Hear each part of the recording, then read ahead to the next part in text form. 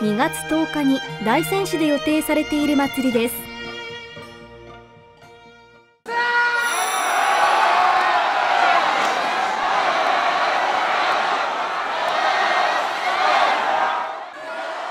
地域が上町と下町に分かれて綱を引き合う伝統行事。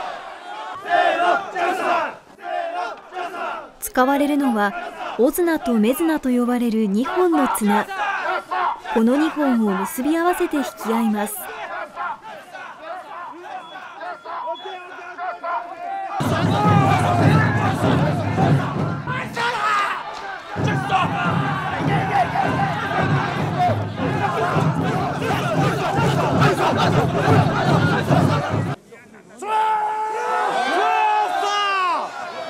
午後9時ごろ合図とともに大綱引きが始まります。上町が勝つと米の値段が上がり下町が勝つと豊作になると言われています。祭り当日の日程はこちら。綱の引き合いは午後9時から始まる予定です。開催場所は刈羽の大町通りです。引き合いには由に参加できます。